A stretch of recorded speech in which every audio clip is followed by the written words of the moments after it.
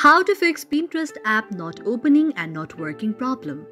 If any day you face a problem that your Pinterest application is not opening and not working, then do not worry as we have got the perfect solution for this.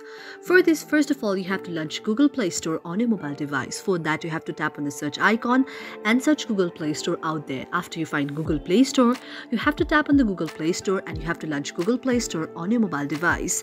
Now, after launching the Google Play Store on your mobile device, you have to wait until the Google Play Store opens there.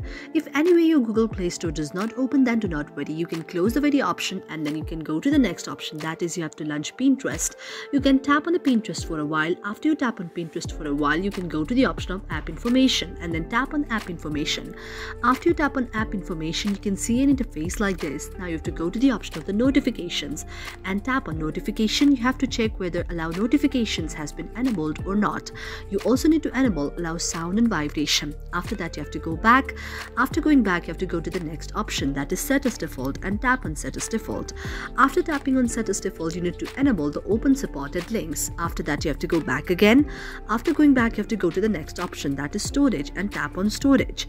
And you have to check whether there is any cache or not. If there is any cache, you have to go to the option of clear down the cache. And after clear down the cache, your very problem will be solved. Thank you for watching our video and if you really like it, do not forget to subscribe our channel.